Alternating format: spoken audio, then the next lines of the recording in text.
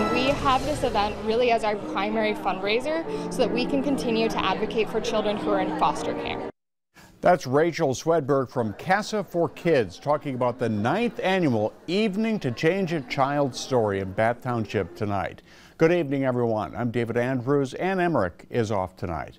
Tonight's event supports making positive changes in the lives of abused and neglected children. News 10's Tanaya Jordan was there.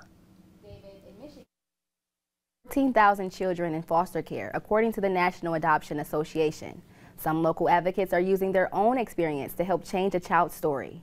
When I was a young child, I, I had faced verbal abuse by someone close to me, and it caused me to have some harmful decisions, but... 20 years later, Adam Williams says sharing his story helps the youth overcome their own struggles. I, though I was facing verbal abuse, I did have a a strength of my own I needed to tap into to kind of overcome that. So my abuser didn't change. It was me that changed on the inside. During Friday's Evening to Change a Child's Story, Executive Director Rachel Swedberg says CASA for Kids currently has a team of 90 volunteers advocating for abused and neglected children in Barry, Eaton, and Ingham counties.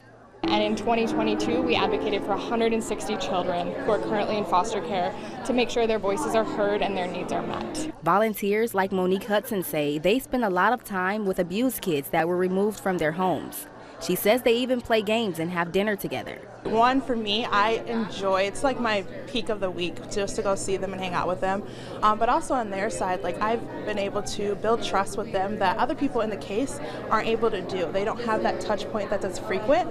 Providing a safe space for children to find their voice through sharing stories of what I faced as a, as a child, but also helping them share their stories and what they're currently facing and proceeds from tonight's event will support children who are currently in the foster care system. Last year, CASA for Kids volunteers supported 36 children returning home to their parents. Back to you, David. All right. Thank you very much, Tanaya.